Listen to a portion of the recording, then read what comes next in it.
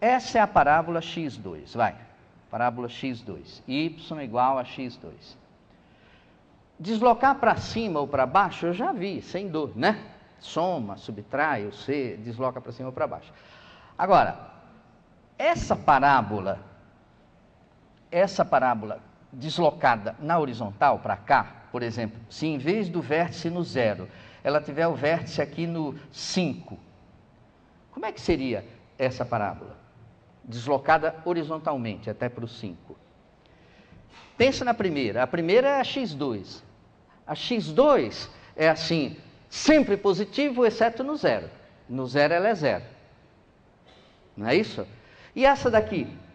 Essa daqui é sempre positiva, exceto no 5. No 5 ela é zero. Né?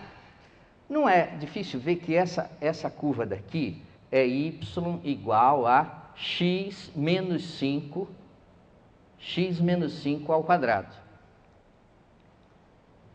Não é? x menos 5 ao quadrado é sempre positivo, exceto para x igual a 5, onde vale zero.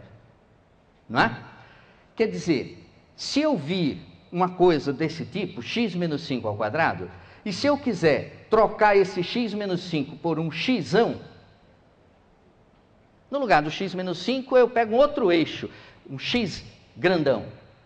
Aí aquilo ali vira x2, não vira? Vira x2. Só que o x, onde é que está o zero do x? O zero do x está no 5. Quer dizer, é como se eu estivesse pegando esse eixo aqui, o y, e aqui na horizontal, quanto? O x. Porque o x, onde o x é zero? Exatamente no 5. Não é isso? Então veja, esse x menos 5 ao quadrado, se eu abrir, quanto vai dar o x menos 5 ao quadrado? Vai dar assim, x2 menos 10x mais 25. Não é? E ó, surge o b aqui, né? Surge o b aqui, tá certo? E esse b só surge realmente quando há um deslocamento do vértice da parábola na horizontal. O deslocamento na vertical, o vértice permanece no mesmo lugar, eu só jogo para cima, jogo para baixo, né? É quando há esse deslocamento na horizontal que aparece o coeficiente do B, né? E, e que está diretamente ligado a isso. Que aí quando eu vou elevar ao quadrado tem o produto, né? Duas vezes isso por isso. Bom, o caso de a parábola tocar no eixo, então, é, é um caso assim. Vamos dizer, eu já não teria problema em escrever, em dizer qual é o gráfico disso daqui. YAX menos H ao quadrado mais C. O que, que é isso? Considere H e C constantes, assim, ó. H e o C constantes, né? Aliás, eu vou pôr até aqui é, é, mais V, vai. V. Bom, então, o gráfico, isso aí seria o gráfico de quê? É, uma parábola x2, porque aqui eu olho e só vejo x. x2, só que é um x deslocado, quer dizer, o zero vai estar no, no H, não é isso? Então, se eu fosse ver aqui no eixo, o, o, o zero estaria no H. Se o H é positivo, do lado positivo. Se, se fosse x mais H, estaria do outro lado, né?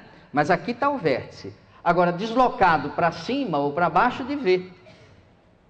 Né? Assim seria um exemplo, né? Tá certo? Deslocado na horizontal do H e, e para cima aqui de V. Na vertical e na horizontal, né? Então, qualquer trinômio do segundo grau, a coisa é mais ou menos óbvia. Assim, qualquer trinômio do segundo grau, ou é um quadrado perfeito, e se for um quadrado perfeito, como é que se escreve? ax menos h ao quadrado. Se for um quadrado perfeito. Nem tudo na vida dá um quadrado perfeito, né? Mas o que não é um quadrado perfeito, ou é mais ou é menos do que um quadrado perfeito? Pode ser diferente? eu pego um, um, trinômio de segundo grau, ele é um quadrado perfeito, que bom, né? Que bom, eu já sei. Dá então uma parábola desse jeito, ax menos h ao quadrado, né? Eu pego um trinômio de segundo grau, não dá um quadrado perfeito, é. Então, além do ax menos h ao quadrado, sobra um pedacinho aqui v, para mais ou para menos, não é? Então, o que não for um quadrado perfeito, ou é um quadrado perfeito deslocado para cima, ou é um quadrado perfeito deslocado para baixo.